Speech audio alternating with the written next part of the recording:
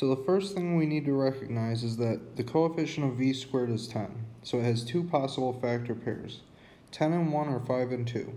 So to be systematic, I'm just going to start with 10 and 1 and see if I can find a solution that way.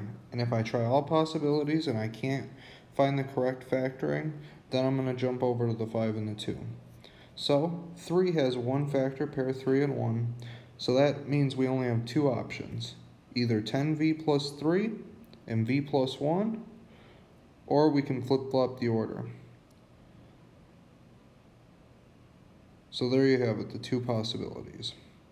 Now what we're going to do is just FOIL them out and see if one of them has 17v for the middle term.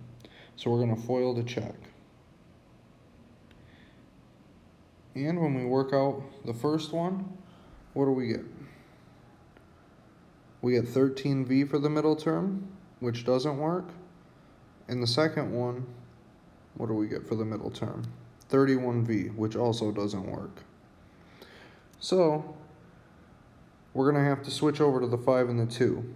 Since 3 only had the one factor pair and neither of those worked, we're going to have to see if 5 and 2 will work. So now we're going to start off with the 5v and the 2v. And again, we know 3 only has the one factor, so it's either going to be 5v plus 3 and 2v plus 1, or we flip-flop the 3 and the 1 again. And again, we have to FOIL the check. So when we start foiling, the first one we get 10v squared plus 11v plus 3. And the second one, we get our answer. 10v squared plus 17v plus 3. So we can see that the correct factoring is 5v plus 1 times 2v plus 3. And that's it.